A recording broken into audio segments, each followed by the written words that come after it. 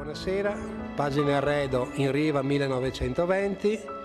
Siamo ospiti di Maurizio Riva che ci racconterà questa splendida storia fatta di legno, come dice lui. A lei. La, La più parola. splendida è piccola, però è splendida sicuramente. Da anni con grande forza portiamo avanti questo pensiero, pensiero che oltre a fare l'imprenditore, il piccolo imprenditore e avere tanti giovani in produzione, la grande vicinanza ai giovani facendo concorsi di idee, ma soprattutto lavorando con legni di forestazione, con legni di riuso, con finiture naturali, e impariamo tutti i giorni con i designer importanti e meno importanti dove veramente alla sera si va a casa con qualcosa di buono.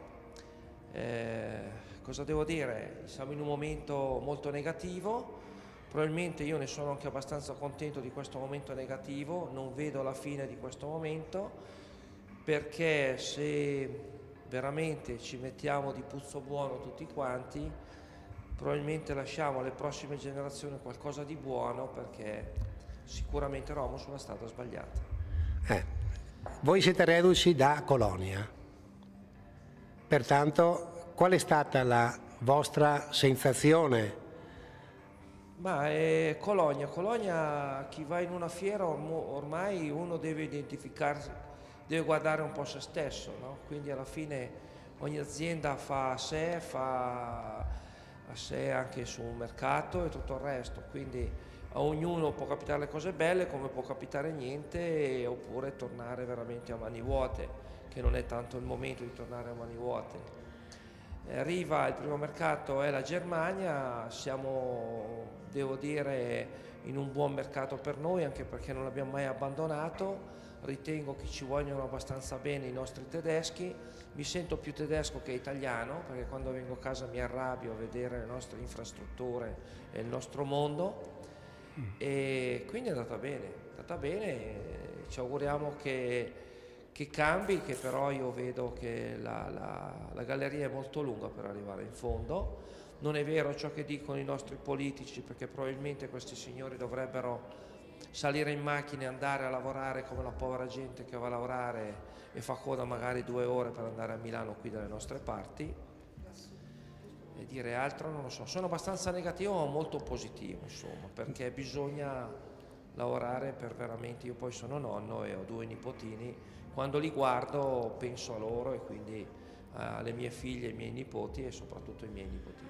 Visto che ci troviamo in questo splendido museo, che definire splendido è poco, no? con un sacco di storia, com'è stata all'inizio o la voglia di provare col discorso briccole e più in generale col discorso legni eh, antichi recuperati?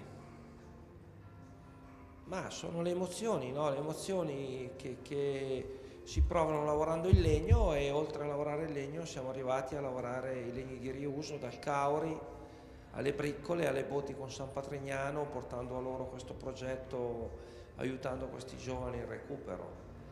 E il cedro, anche questo è un altro nostro percorso e quindi non è l'idea, è, è adoperare e affinare che dal legno di forestazione siamo passati anche al legno di, di riuso.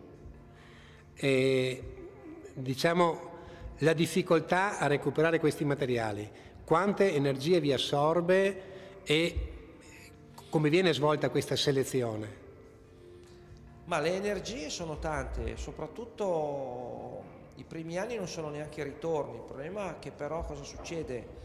Eh, fa, nel, fa, crescere la riva anche in modo di comunicare, nella comunicazione, fa crescere la riva nel suo, eh, identificandola un po' un'azienda un po' anomala in poche parole.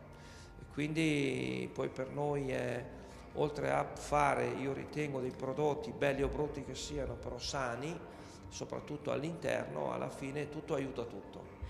E considerando che la bricola sostanzialmente è un recupero, per cui ci avviciniamo a tutto quello che è il discorso del riuso, del riutilizzo, del green, e quanto è importante questo valore nella vostra azienda in questo momento qua? E riuscite ad applicarlo a tutta la filiera o è un qualcosa che è difficile da applicare all'industria del mobile? No, c'è un... eh, è difficile, no, beh, diciamo che si affina ogni giorno, quindi siamo arrivati a un buon livello. È logico che prima di pianificare questi investimenti fatti con la collezione Briccolo, con la collezione Cauri, ce ne vuole ancora. Eh, non è quantificabile quanto però fa crescere eh, per dire il nome Riva come Riva 1120 e poi anche la produzione che gli è annessa sulla produzione normale di collezione. Perfetto, M- ringraziamo Maurizio Riva, è stato cortesissimo, ospitalissimo e speriamo di poter ricambiare